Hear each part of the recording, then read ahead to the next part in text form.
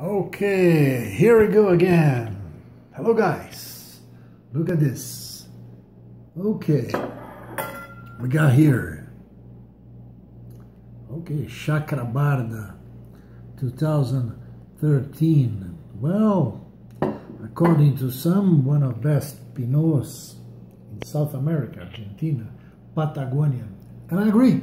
I very agree with it. Uh, at least the more look at his body, very light bodied, and uh, what a fantastic aromas. It's a very Burgundy-like, very French-like, if you want, and uh, beautiful color, fantastic nose, and uh, $30 bottle. Of course, in Brazil, you're gonna pay much more for this, but uh, in general, international prices, this is very reasonable price for a fantastic Burgundy-like Pinot from Argentina, Patagonia.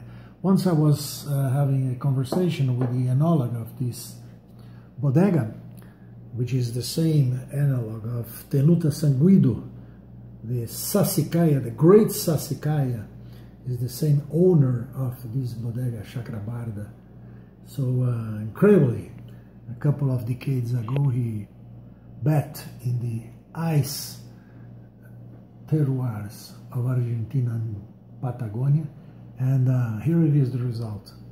A fantastic Pinot, like, uh, I don't know, maybe 90, 92 points, something like that. Cheers.